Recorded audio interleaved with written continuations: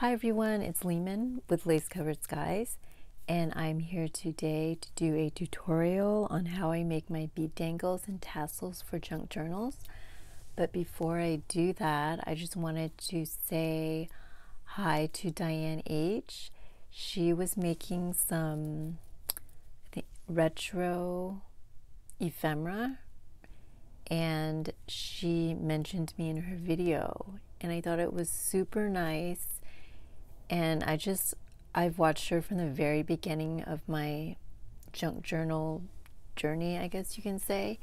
And I've always loved her style. She was the first person that I found that her style just completely resonated with me.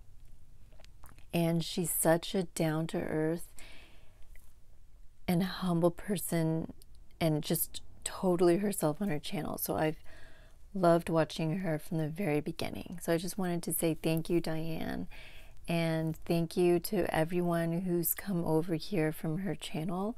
I've gotten some new subscribers, and I hope you guys enjoy what I have here on this channel. So thank you so much. All right, so for these tassels, I'm going to show you what I've made so far. Um, and I've made a lot. So I have some in here that I made that have not gone onto paper clips or safety pins or anything like that.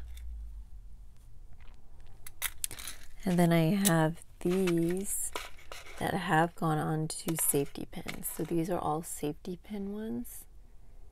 And I hope there's not too much of a shadow right now.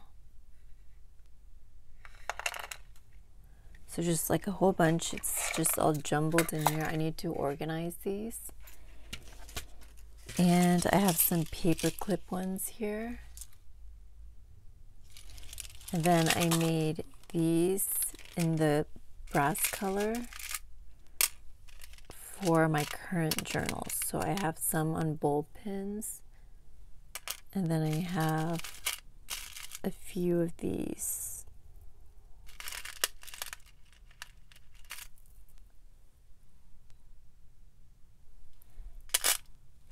Yeah, so today I will show you how I do paper clip ones as well as safety pin ones. I'm going to do one of each and I'm not going to go over like the basics of jewelry making because I don't think I know how enough. Like I'm not qualified to show you that part, but I'll show it as I'm going through the process. I just won't be able to explain it too well, I guess is what I'm saying. But before I get into that, I'm going to show you the paper clips that I've found. So these are from the 99 cent only store. I don't know if you have one near you, but it's called 99 cents only. And a pack of maybe it's 60, maybe it's a little bit less than 60 for a dollar or 99 cents, I guess. And they're just gold. They have that, it's not metal on the outside, it's that lining that um, colored paper clips have. Let me find one really quick. Like, I'm sure you've seen these colored paper clips. These type, how it has like a covering over it, it seems. So that's how these gold ones are. So I use those. And then I also use these ones. And these are from Daiso for $1.50. And they have a point to them. And they are metal. There's no covering over it. And then I have these ones that I just found at Hobby Lobby. So a pack of 60 will be $2.99, but I used my 40% off coupon. So I think it ended up being $1.97 with tax. And these also have a covering on them, like that plastic layer, plastic casing, I guess you could say. And these are a little bit more gold, like white, than the 99 cent store one. So let me see if I can hold it up here. I don't know if you'll be able to see that, but this one is more of a cleaner color. All right, so I'm going to show you two, I'm going to show you a safety pin one and then a paper clip one. And we'll start with the paper clip one. And with the paper clip ones, I use this kind of wire. Well, I guess for either one, I, I'll use either this kind of wire or an, a head pin. It has a little stopper at the end, that little metal piece. I don't know if you can see that. Let me move the beads out of the way actually. So it has like a little stopper at the end. And so those two, or you can use an eye pin. I don't know if I have one handy to show you, but an eye pin is what we're going to make today. So actually I do have an eye pin. An eye pin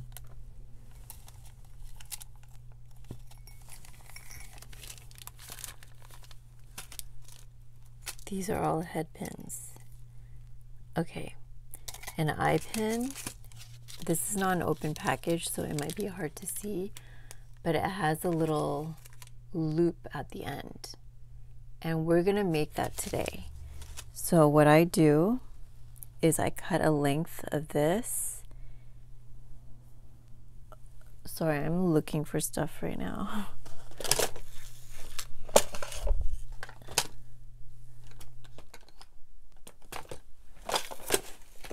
Okay, so what I'm to do is cut a length. Wow. Sorry about that.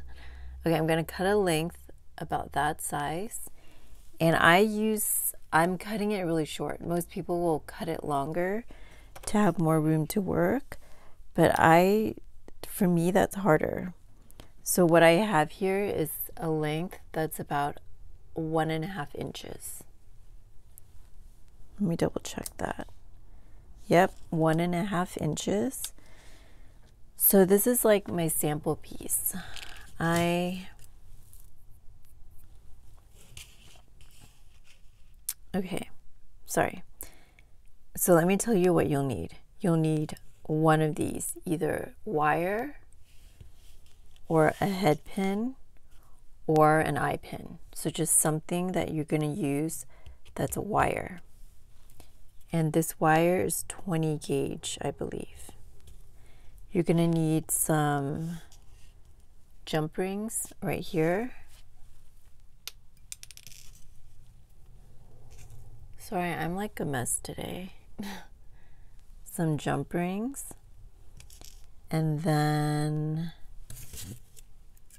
a cutter wire cutter and two pliers I think this is a flat nose plier and this is a round nose plier. Yeah. And then you'll need a paper clip and a safety pin. So I just use, I think these safety pins, I've probably had them since childhood or something. I've just had them around. So it's just a small safety pin. Okay. Now, uh, the first thing I'm going to do, and of course you're going to need beads. We'll go over the beads when I get to them, like after I finish making the wire. So what I'm going to do is straighten out this wire. And let me try to stay in frame. So I'm going to straighten this out. And then I am going to cut a piece using my example, my sample. That was about one and a half inches. So let me hold it right there. Then I'm just going to cut a piece off.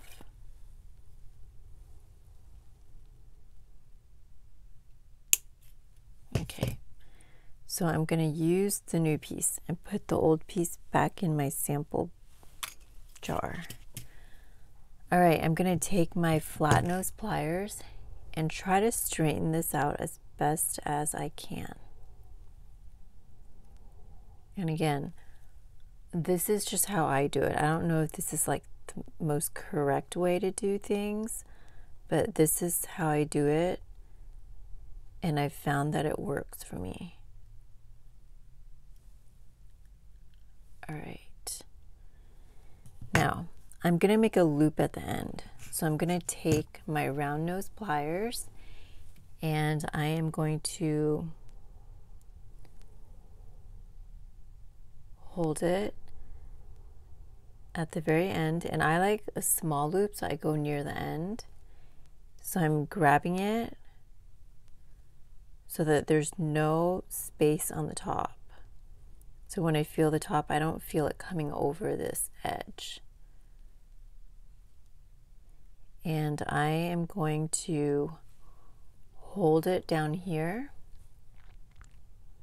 and turn it. I'm just going to turn it in a like turn it away from me. So I turned it away from me there. Now I'm going to put it back in.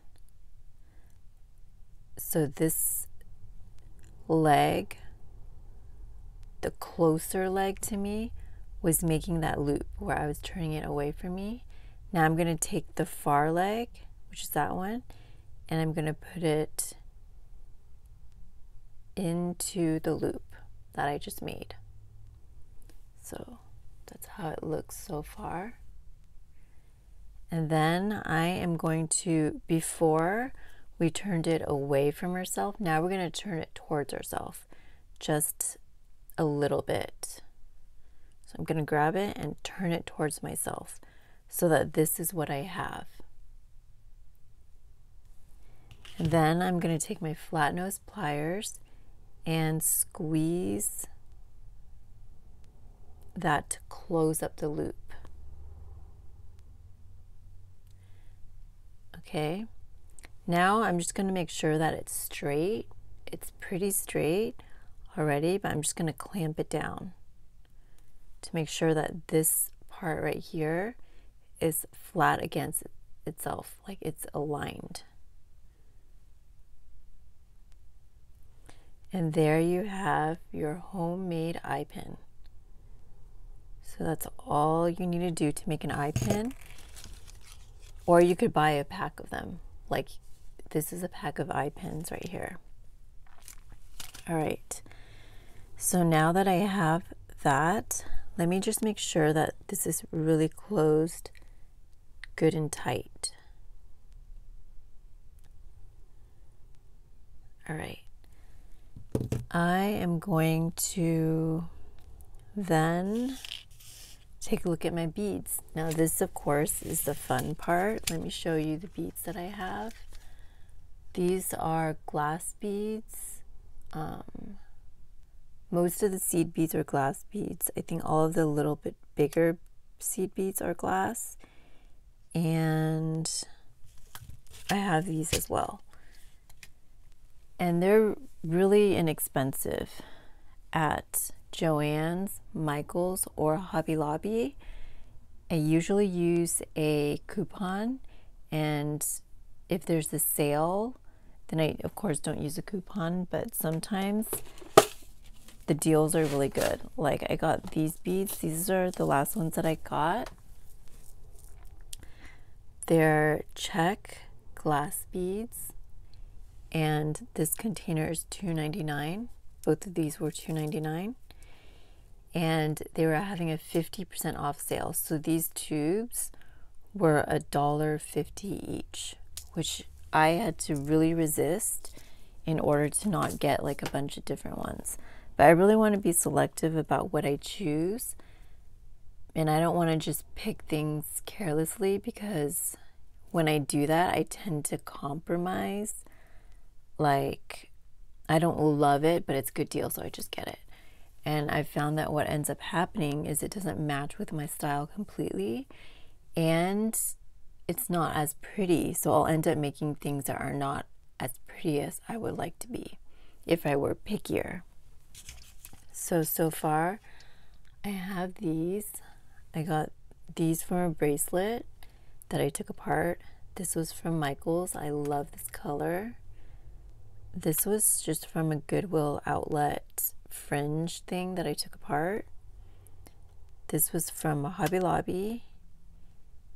And this was from Joann's. These two were from Hobby Lobby. This one I got years ago from Joann's, I think. So yeah, this is recently from Joann's, Joann's, Joann's, and Joann's. So we're going to make one. And when I make these, I'm not too careful about the beads I choose to put on here because when I buy the beads, I try to be really, how would you say, really careful, like I was just saying, about my style so that when I actually have them at home, they already match and you can pretty much put anything together and it'll still look good. Now I try to do at least a metallic with each piece that I make because I really love how the metallic goes with everything and I like gold so it works out. Let's go with the blue one.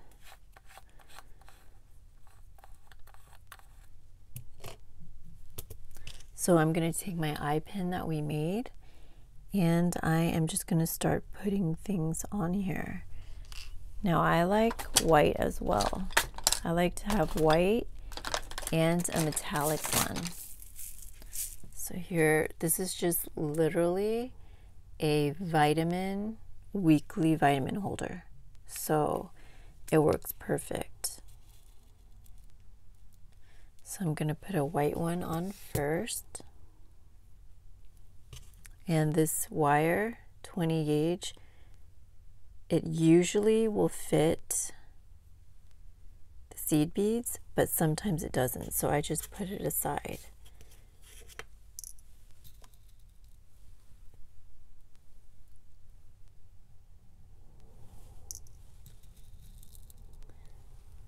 Now these white ones are a little small. And I think the last time I made the, these, I put a whole bunch of them aside and I just dumped it up, dumped it back in on the top right here. So like right now, a lot of them aren't fitting, but this one fits. And I think I'm to put a blue one. And like I said, I'm not too picky. This isn't like collaging. with collaging, I take forever. Like it's so hard for me to be satisfied with my collaging, but with this, it's pretty easy. Like I usually like how things turn out.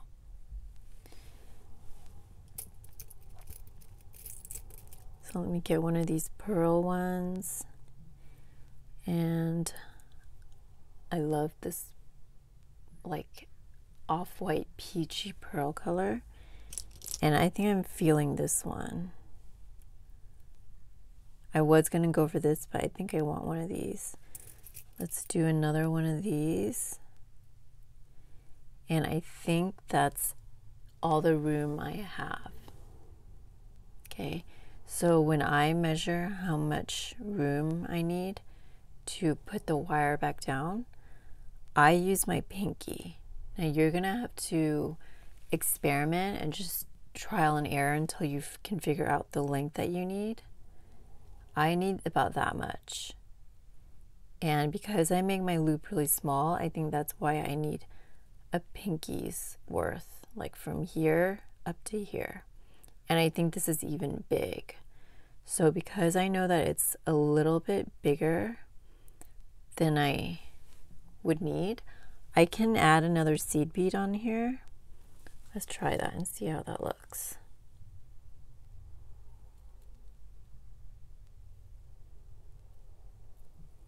I can add another seed bead, which I like how it looks. Now that leaves me very little room, and I think that's like a no-no maybe. but let me see if I think I can do it. Yeah, I think I can do it. So I am going to make the other loop on this end. Sorry, let me move the beads out of the way.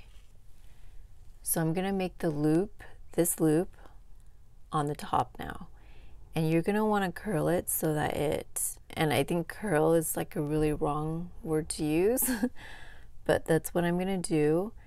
And when I do it, I'm to try to make it so that it's in the same direction as this, so that it's in the same plane, like it's to go down so that how can I explain this? Let me find one that I've done. Okay.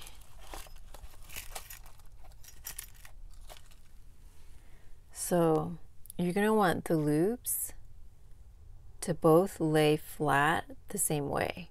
So you wouldn't want a loop coming this way and for this to go like that way. I don't know if that makes sense but just make it so that it's flat. So when you hold it like this, they're both flat in the same direction. I hope that made sense. So I am going to take this. I know my loop needs to be pretty small because I don't I didn't give myself a lot of room. So I'm going to hold it at the very end. If I had more room, I would go in a little further because this round nose plier gets bigger as you go inside. So I'm going to grab it really tight at the very tip of it, and then I'm going to turn it away from myself. Okay. So now I'm finding that I don't have enough room. So I'm going to turn it back a little bit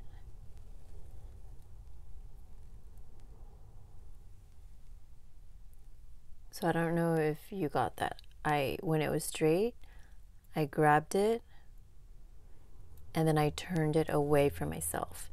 And then I kind of backed it up. I reversed it.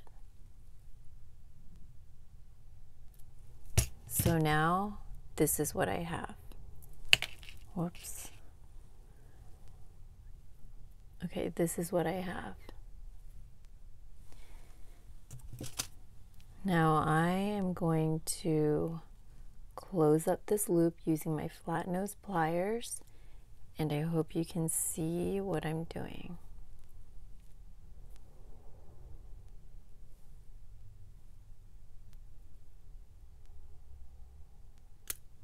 Now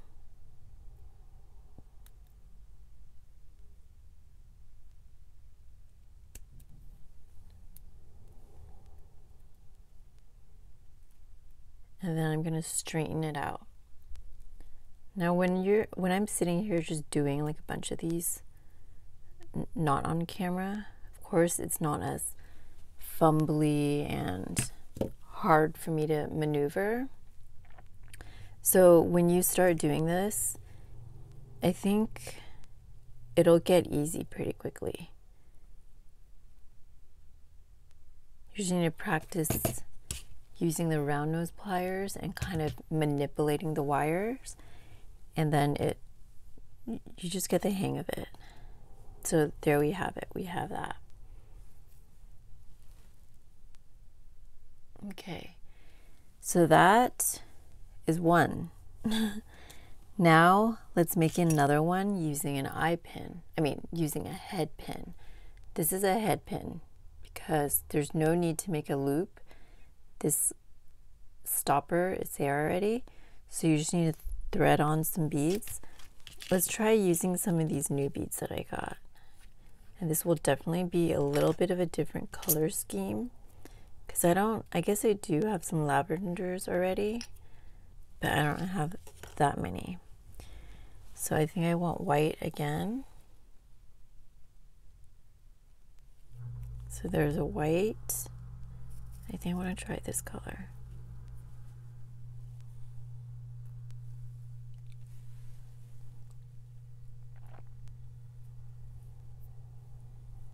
Okay, I like that. And then okay, so this seed bead is a little bit small because the end is kind of big. So let me find a bigger white bead if I can. You know what? I think I'm going to just use one of these ones right here. Let's grab one if I can. all right, so that one sits all the way to the bottom. And let's go ahead and put these back on.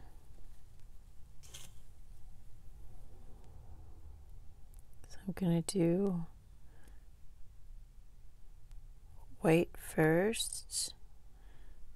Actually, I think I'm to do the green one first.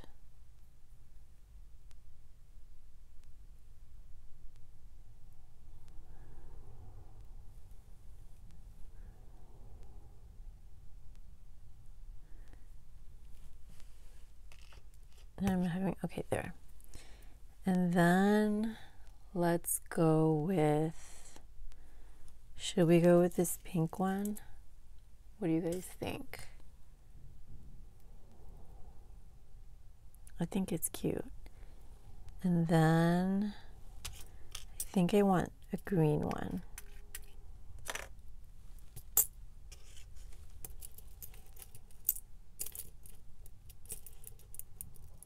Either green or the pearl one. I mean, the off white.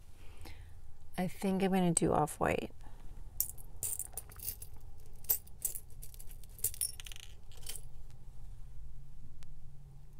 Off white.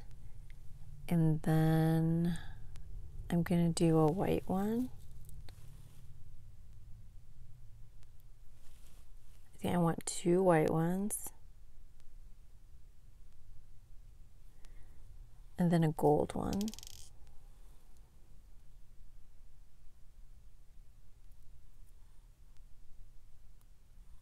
Okay, so that's what we have so far. I like it. It's very basic, but I really like that. So I, well, I don't know if I want the gold on the top. So let me maybe put the gold on the bottom. like that. And then I'm going to, let's just put this purple on. I just want to see how it looks because I haven't used this before.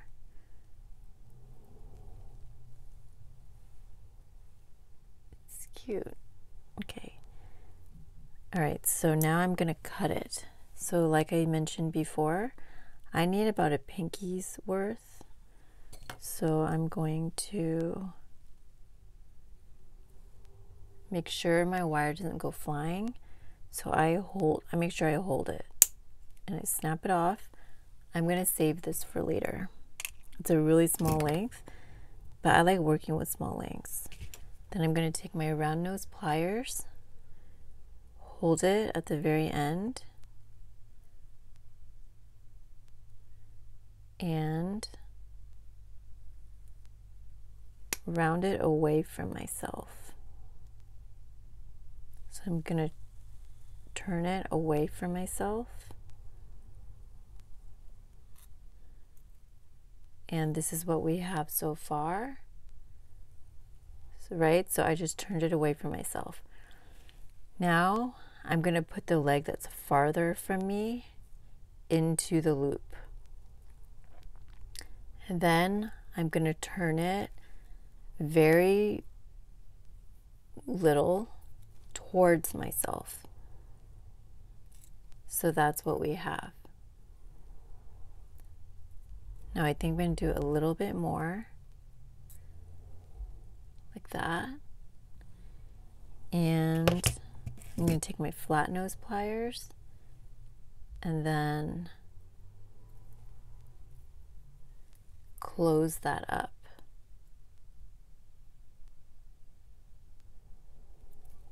Then I'm going to just make sure it's flat. And there we have it.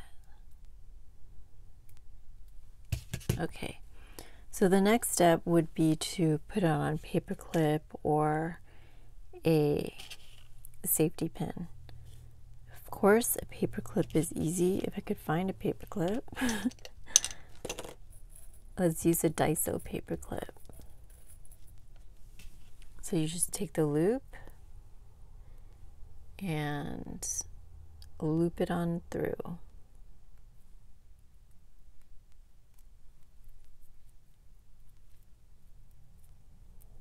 And, oh. I went the wrong way. There we go. We have a paperclip that's ready to be used in a journal. I'm going to take this one and put it on a safety pin and you're going to need a jump ring so it's going to be a little bit harder but it's really not that hard. You grab one side of your jump ring and I don't have two flat nose pliers so I'm going to use the very inside of my round nose pliers to grab the other end and you're not going to pull apart. You're going to twist forward and backward instead of pulling apart side to side. So we're not going to pull side to side. We're going to open the jump ring by twisting forward and backward. So I twisted it a little bit. Then I'm going to put on my beads, put it into that loop that we made take my safety pin. I don't just thread it onto my safety pin. I thread the safety pin into the jump ring, that little circle. And then I close the jump ring back up by reversing what I just did earlier, which is twisting it back to its spot. I hope you guys can see. And then I just kind of make sure that it's really flat in there. And there we have it. We have a safety pin that's ready to be put on a fabric tab or any fabric flips in our journals. So that's what we made today. I hope this video helped you. If you have any questions at all, please give me leave me a comment in the comment section. And if you guys do end up making some of these, I would love it if you would tag me on Instagram. My name is Lace Covered Skies over on Instagram as well, but it's all one word, no spaces. And yeah, I would love to see what you guys end up making. Um, thank you so much for watching, and I will talk to you next time. Bye, everyone.